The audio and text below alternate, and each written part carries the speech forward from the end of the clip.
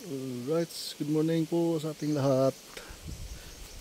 Panibagong araw at panibagong vlog na naman tayo ngayon.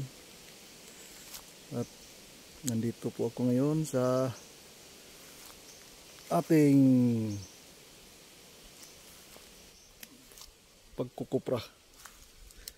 Pang-apat na araw na namin yon dito sa bukid. Sa aming pagkukupra. Yan po. So, umpisahan na natin ang ating pagkukupra. Punta tayo doon. Ikaw. 2 minutes. Palagi kong kasama dito. Araw-araw.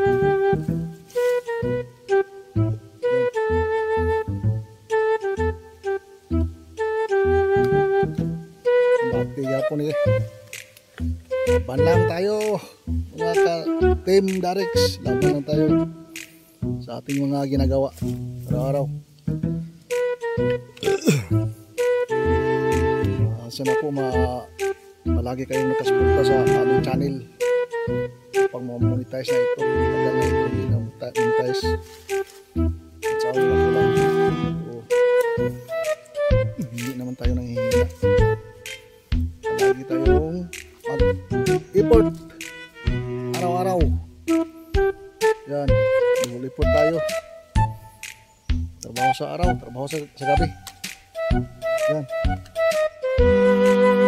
Bakbaka na naman tayo sa ating pagkukupra shout out sa inyong lahat dyan nakarelate sa trabaho namin ngayon. Yan. Aming channel. Farming content